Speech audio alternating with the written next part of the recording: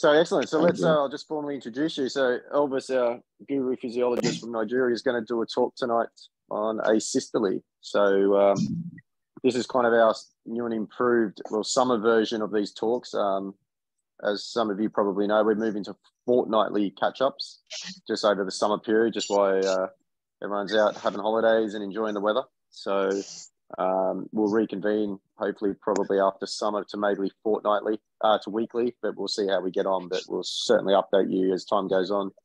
Um, but in the meantime, uh, over to you, Elvis, for your, your talk, mate. All right. Thank you, Jared.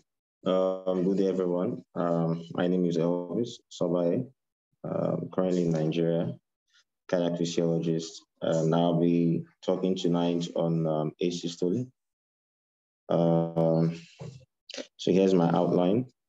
And uh, this is what asystole looks like. Asystole is actually um, referred to as a flat line representing the cessation of um, electrical and mechanical activity of the heart. Asystole typically occurs as a deterioration of the um, non uh, duration of initial non-perfusing uh, ventricular rhythms, um, like uh, ventricular fibrillation, pulseless VTach, um, pulseless um, electrical activity. Um, so more or less like this, this is what the flat line looks like. This is what flat line looks like. Uh, so, well, um, we'll get to that anyway. Let's just keep going. So asystole represents the terminal rhythm of uh, cardiac arrest. Um, uh, the prognosis has a poor prognosis. Cardiac arrest, for instance, has to do with um, rhythms that are not uh, uh, favorable to the heart.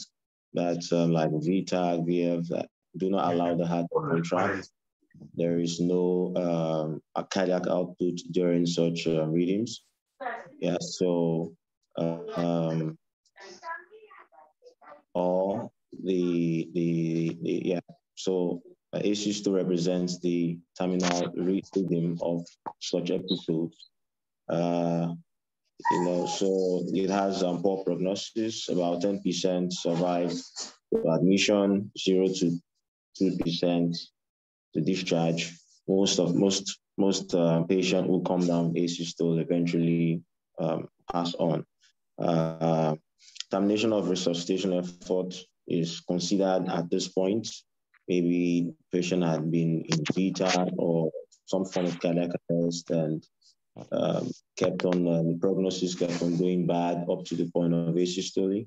So at that point, um, termination of resuscitation is usually considered at that point because yeah. So the etiology of um, asystole is uh, caused by uh, it's it's common in cardiac arrest. So the, the, the causes are quite wide and um, could be due to the compensation for, of um, prolonged VFib or defibrillation of VT or VFib and um, any other cause that could lead to cardiac arrest um, especially when those uh, when, when the cardiac arrest is not promptly treated, it could degrade to asystole.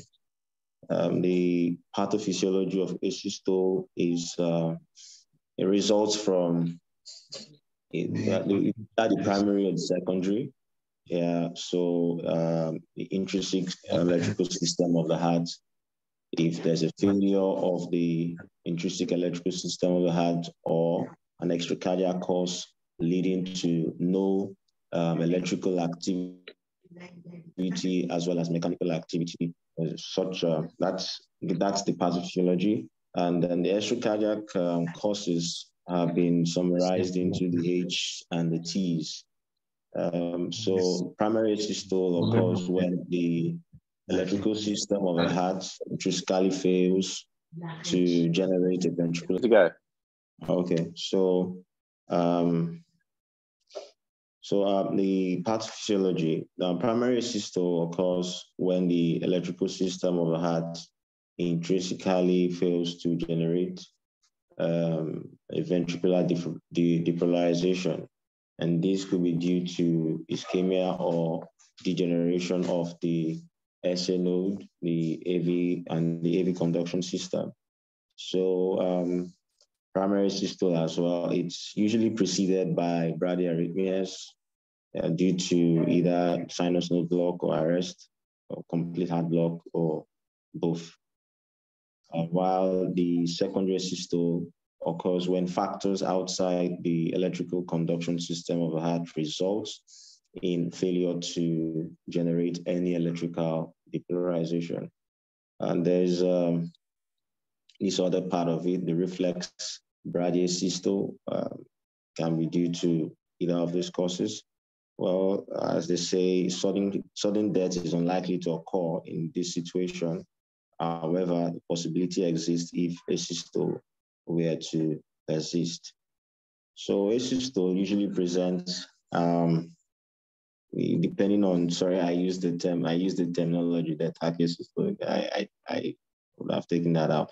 So it depends on what, if it's um, maybe sometimes weakness. You, I've seen patients who uh, became bradycardic and then gradually they degraded into asystole.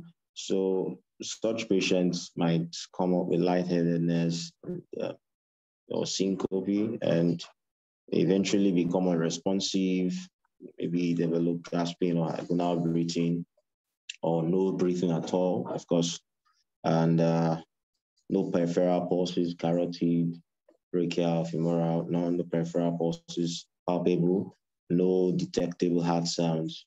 And then on the ECG, particularly on two perpendicular leads, um, we find a flat line on the ECG screen. So it's uh, asystole is usually evaluated on, pardon me, on um, cardiac monitoring uh, as an isoelectric flat line. There's no P wave, there's no QRS complex, there's no T wave. That's asystole. No activity at all. The atrium is silent, the ventricle is silent. No atrial activity, no ventricular activity, no depolarization, no repolarization.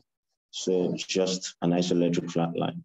And it's usually confirmed when the flat line reading is observed in two perpendicular ECG leads. And this is very important because um, the leads could be dis- dislodged, you know, or perhaps not having good contact with, with the, the patient, or possible possibly the the connections are not very intact, and so the ECG monitor would just be showing you a flat line because it's not seeing anything. It's even possible the ECG is disconnected from the monitor. So you want to make sure of all of this to of course, and well, patient will definitely be symptomatic, but whichever way, it's good to be sure. And this also helps to rule out VF. Um, some VF can be very, very fine.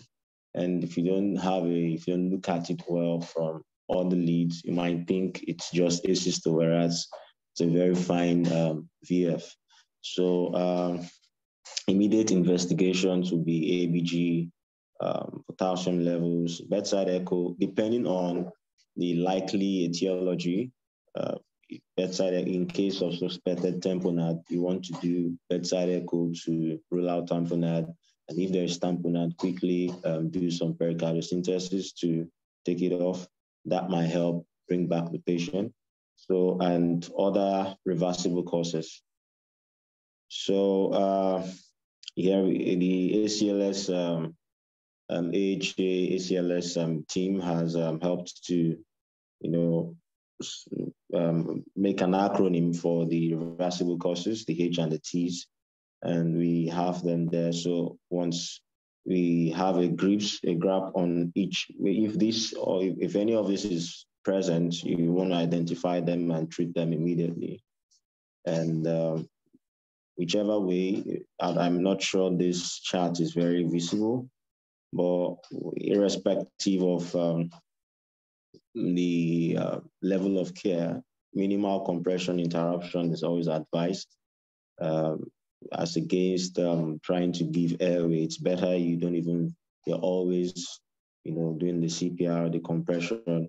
It's prioritized over um, briefing. But if all of that can be done as um, according to the guidelines, then that will be perfect. So, um, yeah, I think this mostly just uh, an overview anyway. This is mostly for the doctors. So um, in asystole, um, um, electrical defibrillation is not advised for asystole because um, is a non-shockable reading. And looking at what we've talked about, the etiology, it could be as a result of uh, degeneration of the SA node or ischemia in the SA node, and um, perhaps uh, the AV node. So defibrillation may just um, rule out the possibility of recovering a reading from the heart, but most likely from the sinus or even if it's um, you know, the uh, maybe you know, that's ventricular, but it's it completely knocks everything out because um, those the pacemaker, the pacemaker, um, the SA node, for instance, is already defective. Then giving the defibrillation over that, it's it's completely fruitless anyway. So it's not advisable to give a shock on asystole.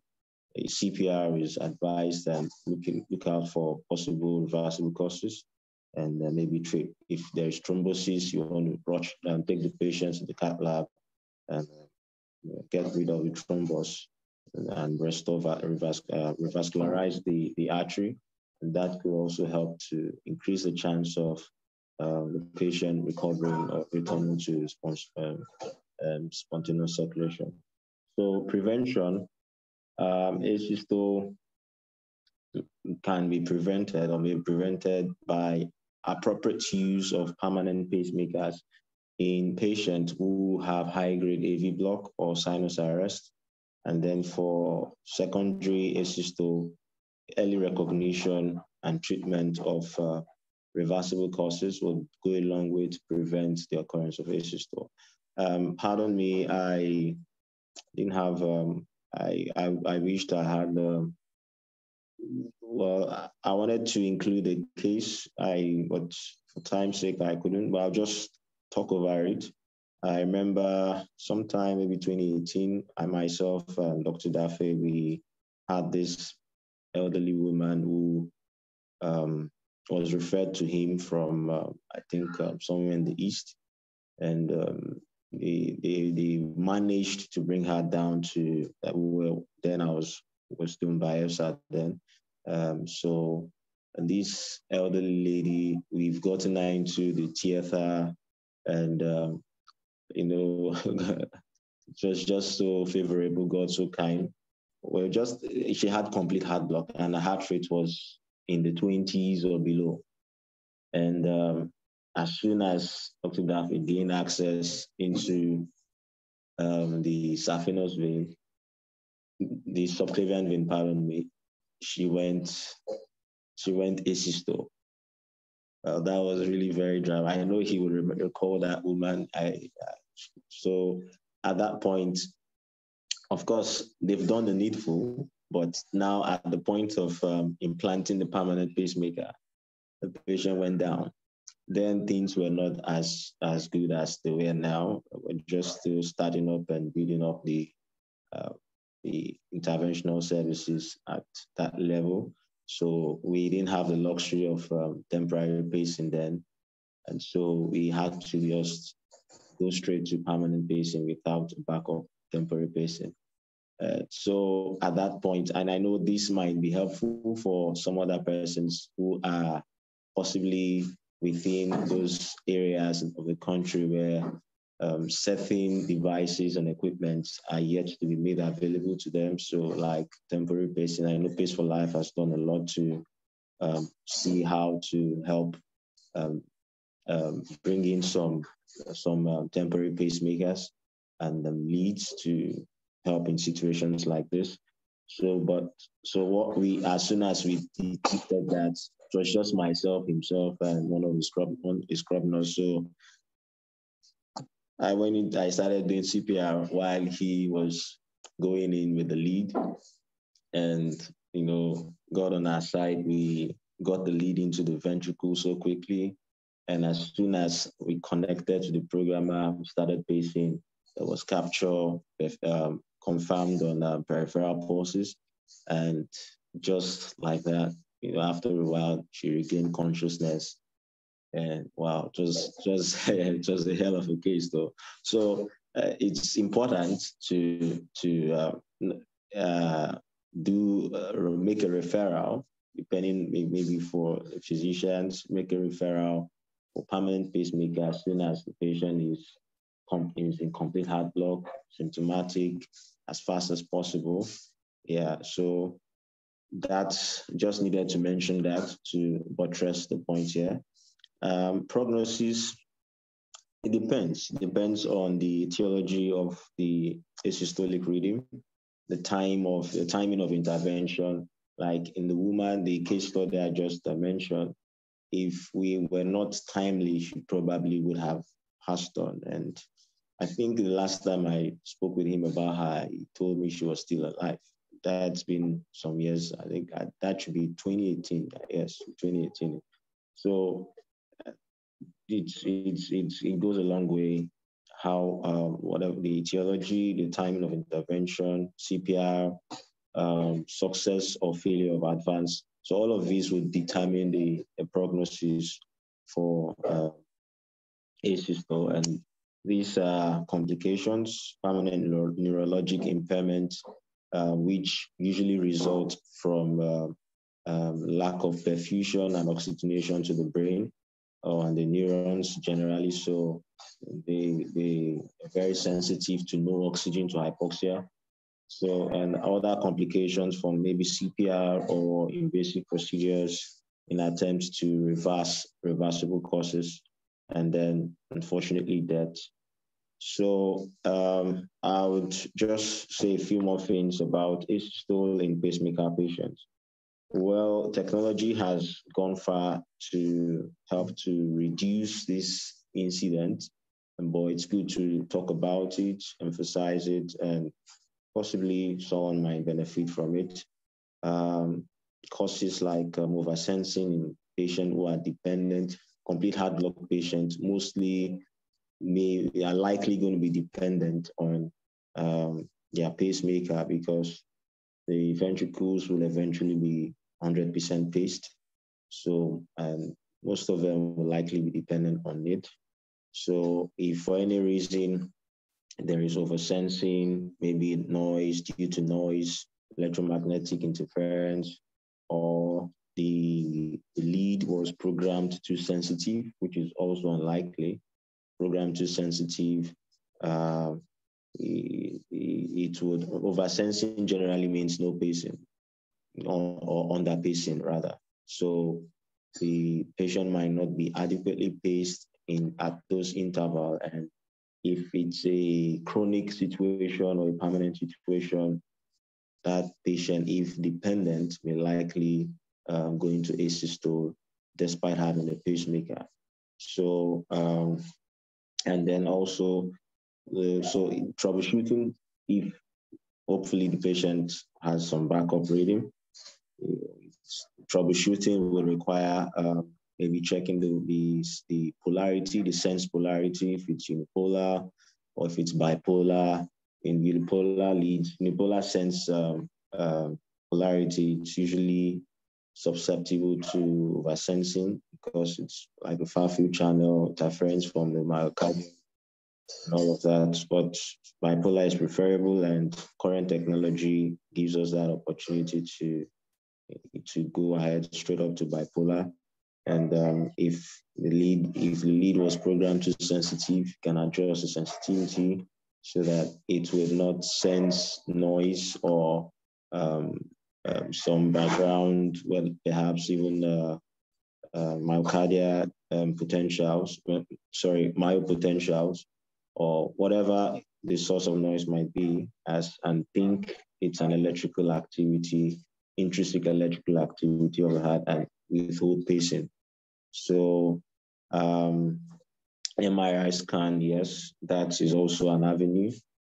Uh, well, but like I mentioned, technology has really helped to reduce um, this occurrence in pacemaker patients. Um, MRI, most patients who would um, have a, device would some at some point might need an MRI to rule out something.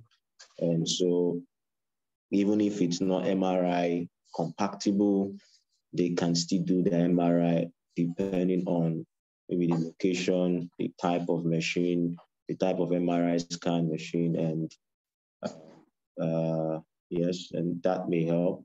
And if it is really the risk, the, the risk outweighs the, the benefit outweighs the risk for especially those who are not MRI compatible, their device not MRI compatible, but they still have to go fine, can take that. I know some centers, there are publications that um, say it doesn't really matter whether they've done for um, MRI patient, uh, MRI and non-MRI devices, and outcomes have been good. So basically, what you do then is to program to asynchronous mode and um, step up the the lower rate, the lower yeah, the lower rate or the base rate, so as to um, override whatever um, the baseline of the patient is. And that would um, for and also the I think uh, yes the the what's it called the output pulse. So some devices already have that. It's just a few clicks and some adjustments, and you're good to go.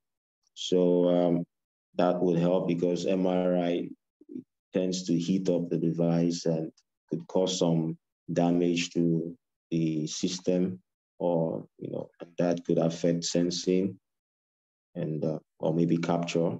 So the patient is um, dependent, especially for the dependent patient. They are really the the ones who are prone to or susceptible to developing a asystole if their device develops some of these issues. Uh, loss of capture is also another one, and that might be due to lead dislodgement or lead displacement um, or um, insulation damage or um, lead fracture. So, uh, so it's important to keep to keep um, to advise a patient for follow up, especially immediately after implant. You want to do a quick follow up and um, ensure that their, their, leads are well in position and parameters are good. Uh, another point is um, for noise, some patients might just need to educate them um, if maybe they, they, are, walk or they live in areas where there's a lot of um, electromagnetic interference. Uh, they might just need to, or they walk into an environment and they feel symptomatic. You know, I, just to educate them to step out from that place, and that will just um, help their devices to revert to normal function.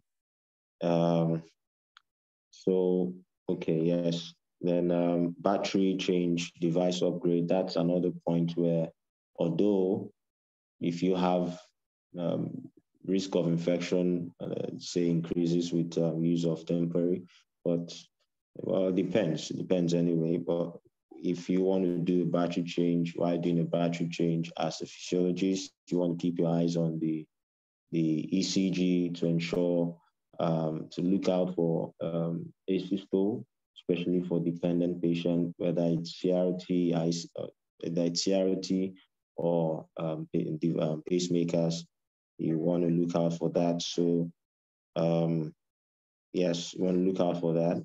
And also, primarily do your check before the device change to confirm the patient has an intrinsic rhythm.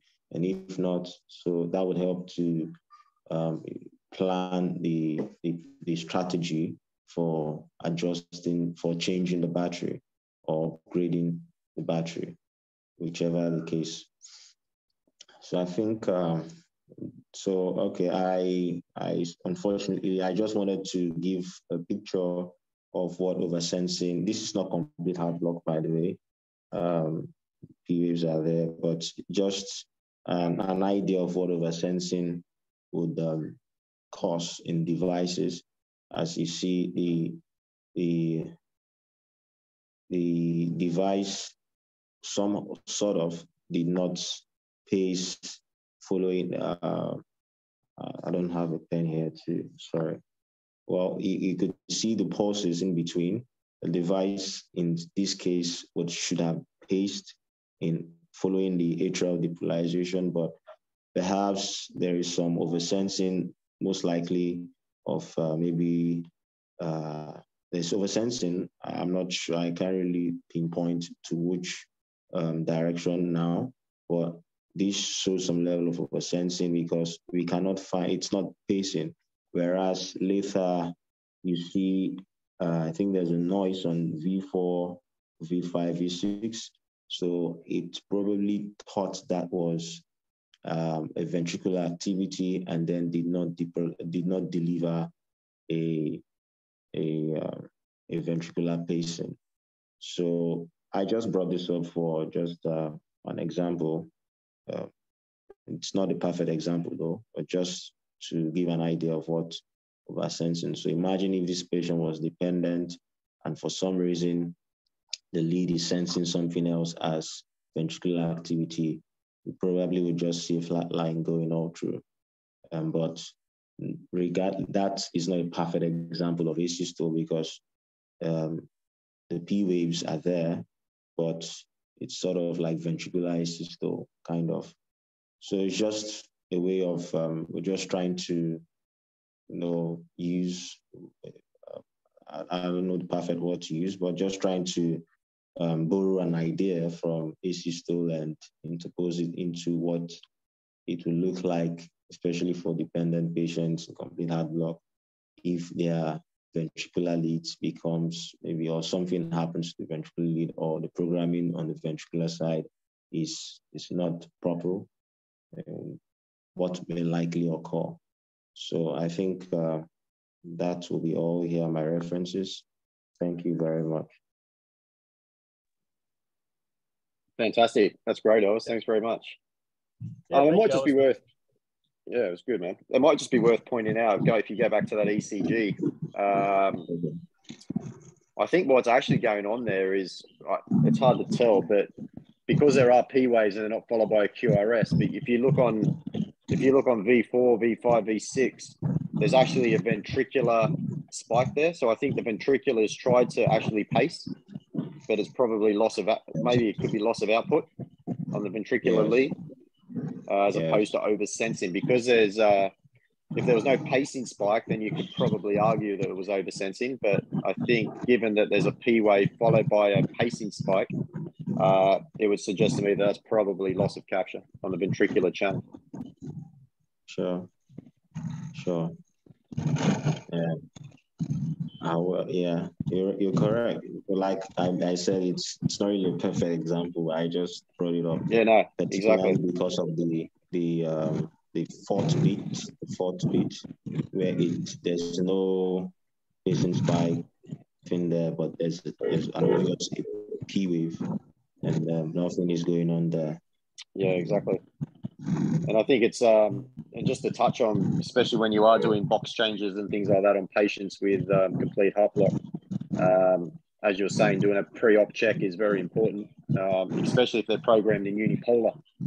Um, because if they're programmed unipolar, then as soon as you take that pacemaker out of the chest, then you're going to lose capture. So it's important that you make sure every patient that you do a box change on who are dependent, just make sure that their leads are actually programmed uh, in bipolar is always a, a good tip. It's not too much Sure. I think that's that's a really good point, uh, Jared. I think so. I, yeah, I think we get some background noise. Just one second. Yeah. Well, thanks. Uh, I think there we go. Okay. Um, no, that's that's a really good point, Jared. I think uh, one of the things I kind of threw this together, uh, Elvis, while you're giving your chat. I don't know. Can you all see my screen now? Yes, mate. Okay, perfect. Uh, yeah, so I, I, think one of the things to, as you pointed out with with unipolar and box changes, is just to be aware of, of the patient's you know underlying condition when you're about to do a gen change, and if there are dependent, that's when you you consider using like a, a temporary pacer or setting the device um, asynchronous, and then also us being aware of the polarity. So as soon as that device comes out, you're going to lose capture. So you want to make sure. I, I don't know if you ever use it like soaking in a wet towel and putting on the chest technique at high output. Jared, have you ever had that? No, I haven't heard of that one, mate. Uh, I've heard of the physicians talking about it, or even touching right. it to like the metal instrument within the pocket, the the can itself, and you'll be able to maintain capture. But I think it's something to be.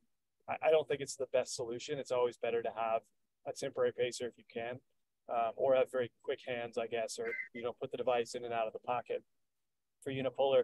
But unipolar can also be a good solution when you're trying to capture. So I think you gave a good anecdotal um, example, Elvis, about a patient, um, you know, being asystole on the table. We've had examples of that where the patient goes asystolic while you're trying to put in a lead, especially uh, in a patient with a uh, with a left bundle, and you accidentally knock the right bundle out. And I kind of gave this little diagram here. I don't know if you can see my mouse, but if the yeah. right bundle isn't functioning, or sorry, if the left bundle isn't functioning at all, and you're fishing around in there with a lead and you hit the right bundle, you could knock out their entire ventricular conduction system, uh, which which does happen. It's not ideal. So in cases like that, you can be ready to actually go unipolar on the lead itself uh, with one of the wires hooked to the pocket. Uh, it's sometimes easier to be unipolar than bipolar.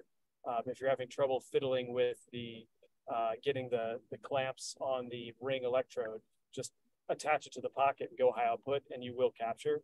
And that also makes it a little easier switching the lead back and forth when you're plugging it into a can as well. So just considerations. Yeah, no, very good points. So you mentioned, uh, you know, for complete heart block patients, one thing you can always keep in mind too, uh, if you're doing a CRT gen change, if a patient has an LV lead, you can always pace from the LV lead as long as it has a bipolar vector set and it's not set to go to the RV lead.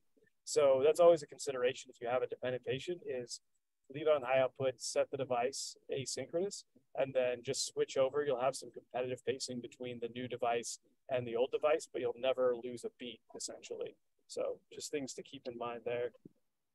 You talked about uh, loss of capture. Sorry, I'm running through this because I'm in rural Kansas and I'm going to lose signal soon. Uh, but you had talked about Elvis uh, loss of capture, so I just wanted to to show you some pictures I found on the internet of, of loss of capture here. So you can see, oh, this isn't actually, sorry, um, I got my, obviously I typed this up quick. This is actually ventricular oversensing. In this, uh, in this sense, you can see the device has a VS and there's no actual ventricular evoked response here or anything going on. So that indicates that uh, you are, you're, uh, sorry, you're, you're oversensing causing inhibition. And Jared, sorry, I'll let you take point. I just kind of put this together. Yeah, you're we're kind of losing you a bit there, buddy. But ah, um, yeah, yeah. Perfect. But um, no, that's really uh, some good points there, especially with the box change. It is just kind of kind of preempting and things, and yeah, using that LV lead as a as a as a as almost like a temporary wire as you exchange the RV and the atrial lead over to the new system, and then make sure you're capturing from the RV lead on the new system before taking out the LV lead on the old system. And it's just playing around like with things with ideas like that is always going to be very helpful. But um, no, that was some really good tips. And and as AJ, AJ was saying, if you're putting in a CRT, CRT device or even just a, a, a normal pacemaker, then um, with a patient with left bundle, then it is important to understand that when you are fiddling around in that right ventricle, that you are at risk of knocking out the right bundle. So again, just just be aware of that and um, just be prepared. Um, again, if you're spoiled like we are uh, over here, sometimes we can obviously put some defib pads on patients as well. So, and as, despite you not being able to shock, so to speak, asystole, um, you can definitely pace through the defib pads. So, um, if your systems out there in Nigeria allow you to do that, then be sure to um, always use that as a as a bridging. I, know it's not pleasant for patients, but um, it, it, may be the difference between life and death sometimes. So maybe pacing through the defib pads at a slow rate, just maybe enough to give them some output that they need to uh, to get them going. Maybe the asystole may resolve itself. Maybe with some drugs it might help, but um, it's certainly certainly something worth noting. Um, the other thing I like to do is with asystole as well is um, is I, see asystole as kind of this umbrella, um, but underneath there's quite you know there's varying reasons for this asystole. In. So I think in terminology, it's always important that I, I personally always either describe it as P wave asystole, meaning that there are P waves present, but there's no ventricular escape rhythm. So you know that the the the issue is probably at the AV node um, as opposed to the sinus node, or do you have actually sinus arrest with uh, with ventricular standstill? In that you basically do have this kind of flat line, um, so where it's probably suggestive. If you're there, AJ, if you don't mind muting, please, mate, that'd be great.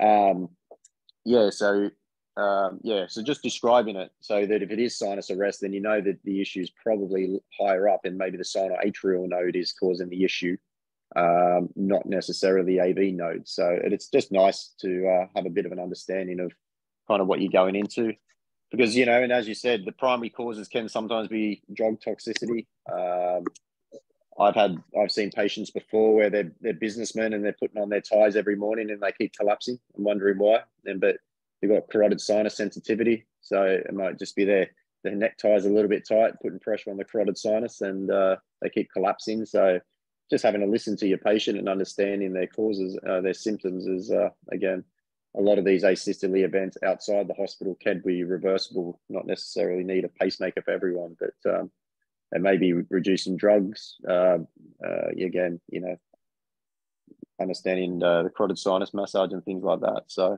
that was just a couple of take home points that uh, that I just wanted to add to your talk there, Elvis. Thank you, thank you, Jared. Yeah, thank you, uh, really Elvis or Jared. There is a uh, there was something in the chat. Do one of you mind? There was, yeah. Well?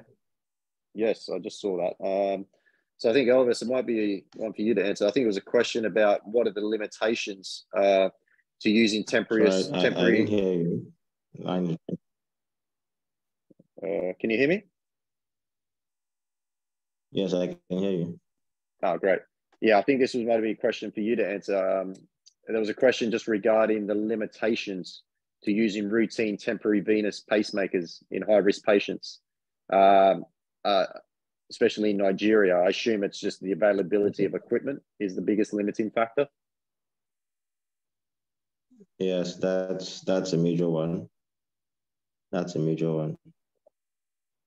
And um, some persons yeah. might prefer to just go straight up to a permanent pacing just to reduce the chances of infection, especially sure. when it's available. Yeah. Yeah, exactly. I mean, temporary pacing is very, yep, in, in the right center. If you're lucky enough again to have the right equipment, then it obviously can get you out of a tricky situation. But um, uh, I, I, mean, it's not very cost effective. And I, I think AJ's shown a nice demonstration here on his picture. Is that the picture on the right there is is actually using a, a pace, especially if you don't think it's a permanent issue. The complete heart block might be just a transient thing, maybe it's maybe they're post post surgery or something like that, and they're going a bit bradycardic or whatever it may be. Then just putting in an actual permanent lead uh, transvenously and connecting it to a box could be a way of uh, getting around that as well. I know again it's not a very cost effective way of doing things, but again it may be the difference between uh, saving the patient and not. Sure, sure. Obviously.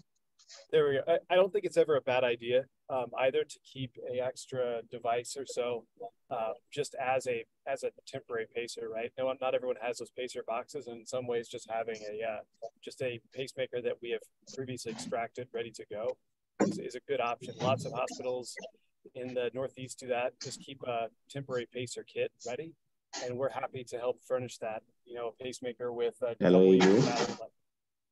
Yep. Can't hear me? Yeah, loud and clear, mate. Okay, perfect. Uh, yeah, yeah. So I, I, would just say keep that in mind. Is just always have a uh, have an extra pacemaker ready to go, and you could just put it externally. AJ, you're not you're quite audible. Gotcha. I'll uh, I'll post it in the chat there. Okay. Fantastic. But yeah, no, I think what AJ's saying is just having a having an old old temporary box that it may be one that you've extracted, and if you can somehow clean it up, um, it doesn't necessarily have to be sterile. You can put it in a bag or something, but just something that you can connect a lead to. That's again just going to help use it as a bridging for the patient. You know, um, it just allows that patient to just to get that lead in and connect it to something to keep them going, um, as opposed to feeling like you have to rush in and put a dual chamber system in, and then two days later the patient gets their rhythm back. Um, so they are good. Like I keep saying, bridging. Uh, if you think the only, if you think the heart block or oh. whatever it is that they're having is transient, then maybe this is a technique that you could be used.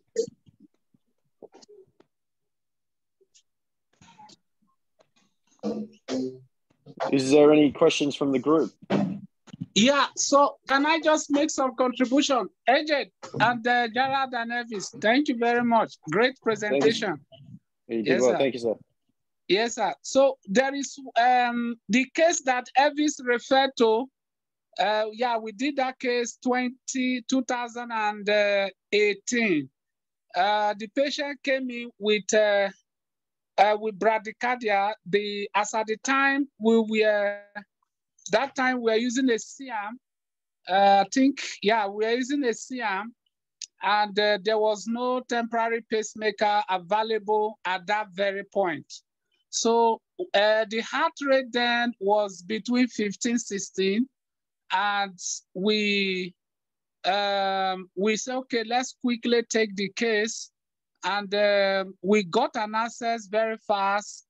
Then as we're trying to uh, take in the leads, the patient just went into flat line. So it's very common with people with um, that very low degree of uh, uh, heart blocks when the heart rate drops down to around 15 or below. So as Evie said, God was on our side and um, he started CPR. As he started the CPR, quickly I pushed the lead in and uh, we got the screw to the to the apex and uh, the pacing starts and the patient was jacked back to life. So that is another call, another one case. Then this uh, last mission we went for in uh, in Enugu, we had a case. Uh, this patient that was uh, 24, no, 2013, the patient had a pacemaker 2013, and it was a single chamber pacemaker, a St. Jude single chamber pacemaker. So we needed to upgrade the pacemaker and also the half-life to the battery half-life has also gone that very low. So two things, we want to change it to a dual chamber pacemaker we still confirm that even though the patient has, has been on the single chamber pacemaker for that number of years, uh, the sinus, uh, the, the sinus rate is still there, just that the patient had a complete heart block and uh, the available thing then for them was a single chamber and that has to keep the patient alive till when we saw that patient few a few days back. So what are we going to do? We wanted to upgrade it to a dual chamber pacemaker. So myself, Dr. Seko, Dr. Mbadiwe, so we sat down and said, okay, what we are going to do is one, uh, we don't use, we don't need to use so many gadgets. Uh, we are going to introduce uh, the uh, atrial leads, uh, the right atrial leads. So that right atrial leads, the first thing we did was that um, we we we prepare the patient and uh, and uh, as dissected and exposed uh, the the battery to be changed, and that battery was still pacing. Then we took an access. Uh, so when we had the access, the next thing was that we introduced the uh, the 52 leads, uh, 52 centimeter leads. So that 52 centimeter lead, we use it for two, uh, two purposes. One, we took it down to the, uh, to the ventricle and screw it to the, um, uh, to the mid, uh, uh, mid, uh, mid septum. And after we screw it to the mid septum, we tested the, the parameters and they were all fine. So we connected that, that lead to the uh, pacing cable and we started pacing at, uh, we started pacing from the programmer. So when we did that, the patient is already pacing from the programmer. So we unscrew uh, the ventricular lead that was attached uh, to the old uh, to the old uh, uh, uh, battery. So we unscrew it and change it to the new battery, connected it to the ventricular head of the new battery. Then after that, then we we we decrease the pacing, uh, uh, the lower uh, rate pacing output until the, the programmer is now reading sensing. In other words, uh, the, the new battery that was brought in was already pacing at 60. So we decreased the pacing output of that of the from the programmer to lower than 50 and it's now reading sensing. So as at that point, we are very sure that this patient has, we have switched the pacing from one point to the other point.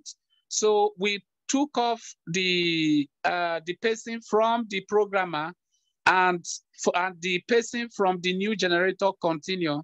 Then we unscrew that 52 lead from the uh, septum and pull it back into the uh, right atrium and screw it to the atrium, uh, atrium.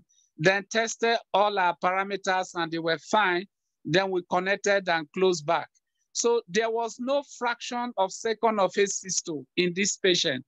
Uh, so you see that that techniques can help us in those of us who are pacing cardiologists in the uh, developing countries, especially if you are in an environment where you are using a C-arm, because a lot of um, cardiothoracic surgeon and pacing cardiology does this pacing in many hospitals with uh, a C-arm without the need of a cath lab. You don't need a cath lab to do a pacemaker. So these uh, tips can help in uh, minimizing the number of things that you are going to use to take one case and also take that case very perfectly without any problem. So we felt like sharing it. Then the other thing is this. The other thing that we also need to share in this uh, case is this um, when you are when you are also doing uh, a CRT, uh, it's also advisable. I think AJ mentioned it that you should put in your uh, right ventricular lead first.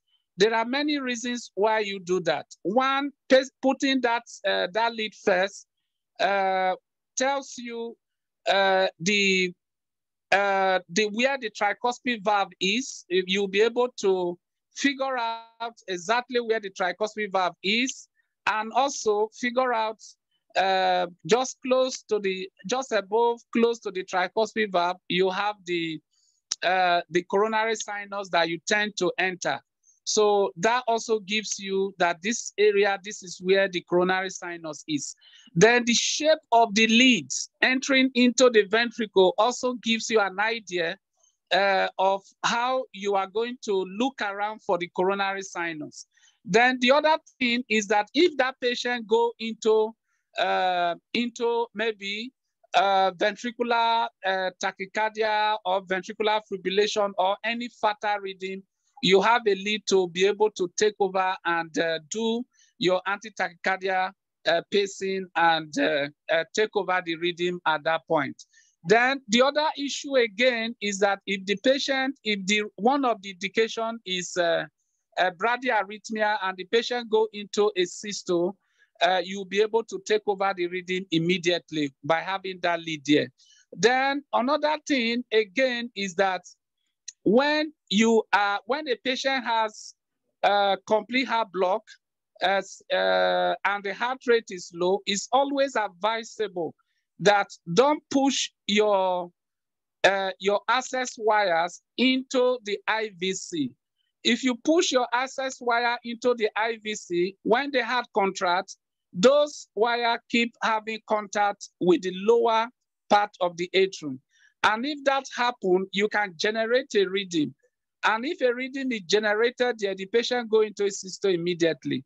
So for a patient who has a complete heart block, it's always advisable that you should keep your uh, keep your your guide wires maybe at the uh, mid uh, atrium. Just keep them around there so that when you don't necessarily generate reading to knock out the uh, the fragile reading that is already existing at that point. So I think these are some of the things that I want us to draw home regards to asystole.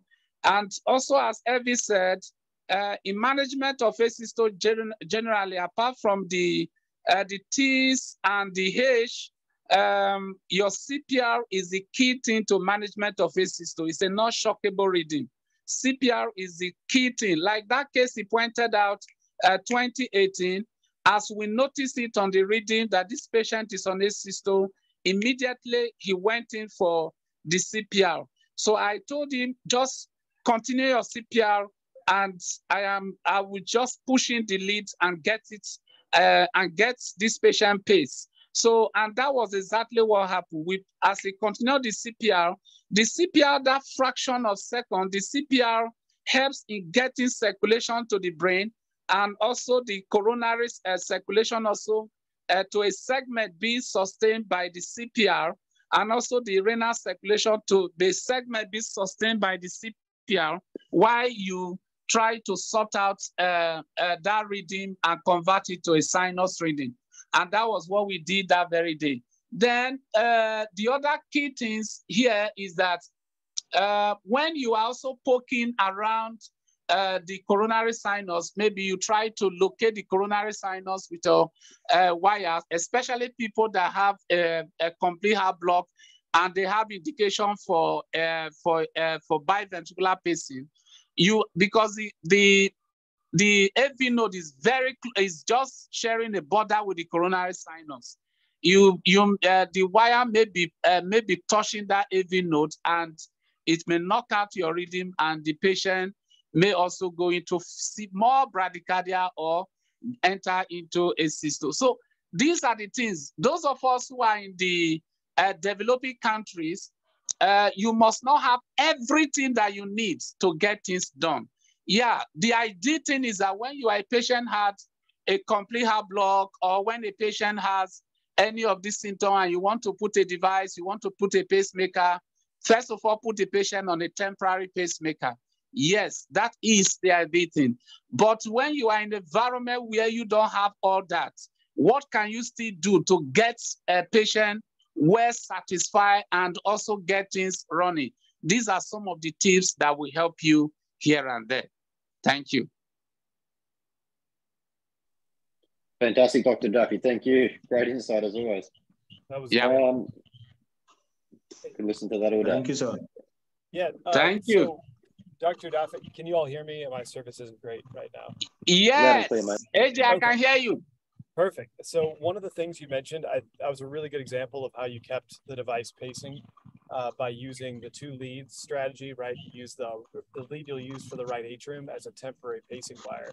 That's Correct. brilliant. And I would always, I'd always recommend, you know, having something, some way to, to keep the pacing going. Uh, things to keep in mind when you are using two different pacemakers. Uh, so like an external pacemaker or the old device and the new device, if they're not mm. sent asynchronous, then they could be over sensing or they could sense a pacing spike that's not capturing and cause yes. inhibition on the other device. So one Correct. thing I'll always tell people is if they have like a temporary wire in, for example, and they're trying to test an atrial lead, I've seen it where the atrial output is high enough that the spike from the atrial pace was inhibiting the ventricular pacing wire. Uh, mm. Because the device doesn't know that you're pacing because they're two different independent blind devices, it'll cause mm. inhibition on the old device. So I think asynchronous. I don't. And feel free, uh, Elvis, Jared, Dr. Dafe, to, to chime in here and correct me. But I think asynchronous is your friend in those cases where you know you risk a little bit of competitive pacing, or you risk a possible pacing into T. Uh, but for a for a dependent patient, I think it's always better just to capture. So making sure that your device is set asynchronous, possibly both devices. Uh, so for a gen change, for example, in a dependent patient, I will have the old device set at say 80, 70, 80 beats a minute, depending what their underlying rhythm is. Um, I will have their uh, temporary wire or their uh, PSA set to 80, 90, and then I will have the new device 90, 100. The idea being that you always have the final device at the faster rate. So when you connect to it, you know you're capturing and you, can turn off the old asynchronous device, but always having that uh, that backup ability and those asynchronous uh, devices working together. Very correct, AJ. 100% correct. Thank you. Then there are also some medications that we, uh, if you have them in your uh, cupboard, you can also try them. Uh, things like uh, isoproterenol, uh, you can try them. Then also before, like this patient that we encounter uh, at Enugu, uh, one of the things we did was that we tried to program the device and brought it down to, to 30, 35 and notice that the patient does not have any uh, good underlying uh, uh, native rhythm to mash up uh, what we have. So what we did was that we pro uh, before we started that case, AJ, we put we program we lower the output to uh, the lower rate at at 40. So the patient was already on the table, so we put it at 40. Then we went in and did all our changes and connections and once the new pacemaker came in, automatically it's, it's pro, uh, lower rates at 60. So we move on and uh, fine, we are fantastic. But if you have all this uh, you can give, and some people also suggest that that uh, you can also lower, I mean, uh, raise the feet of the patient to increase uh, more output. Uh, some also suggest that you can give um, atropine to either imp, uh, improve uh, native uh, rhythm or uh, uh, stimulate, uh, improve native rhythm. I don't know whether they actually perfectly work, but if they work, fine. If they don't work, still follow this procedure, which these processes which we just described, and I think it will be fine. The aim is to get the patient free from any any fractions of a system.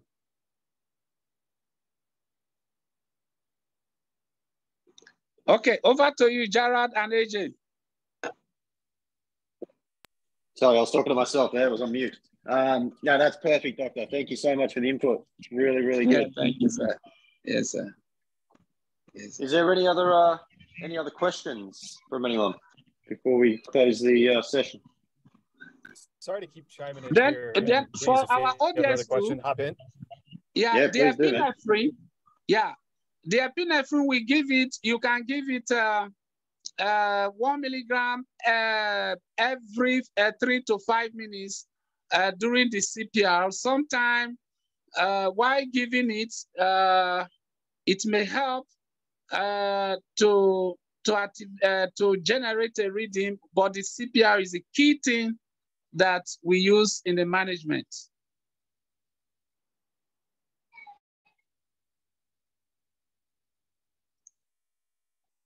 Great. Can, can anyone hear me right now? Yes, we can hear you. Yeah, mate, we got you. We've got you loud and clear. Oh, perfect. To to your point, uh, Dr. Dafe, uh, the previous one you made about dropping down the rhythm. Um, so one thing I would always advise is you know reducing the rate seeing what their underlying rhythm is and you can do this mm-hmm. by actually bringing the rate down slowly not just setting it dropping it from like 70 to 30 um, Correct. it will actually encourage intrinsic to break across as you slowly reduce the rate uh, if you can find a solid underlying rhythm as dr Dafe was talking about around 30 or 40 set program the device at a backup rate of 30 just in case and that will make your changeover that much easier because sometimes patients will have a large pause if you immediately cut their rate off and you don't want that pause when you're trying to concentrate and connect a new lead it's very stressful if you slowly mm-hmm. bring it down if you let the rhythm come across then you you can have a nice leisurely changeover to the device, disconnect the old device, connect the new device, bring the rate up, and no one has to have any kind of, you know, clenched, uh, clenched fist moment. So it's, I would always recommend finding an underlying if they have one and allowing it to, uh, to happen if the patient tolerates it, obviously. Yes, sir. That's perfect, mate. Good, good tips. Any other questions from the group?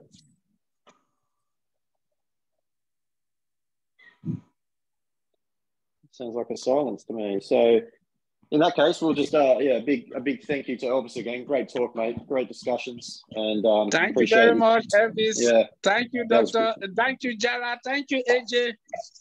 Thank you, Doctor Davian. Thanks, everyone. Thanks, thanks for everyone's Yes, input, and uh, Thank enjoy the you. rest of your evening. Go And, and rest. Go and Good, rest. Sleep, sleep, sleep, sleep. No work today. Sleep. he's a lucky boy, and we'll um, sleep, my we'll- brother, because the work was too hectic on us. Just sleep, sleep, sleep. Don't do anything now. Sleep.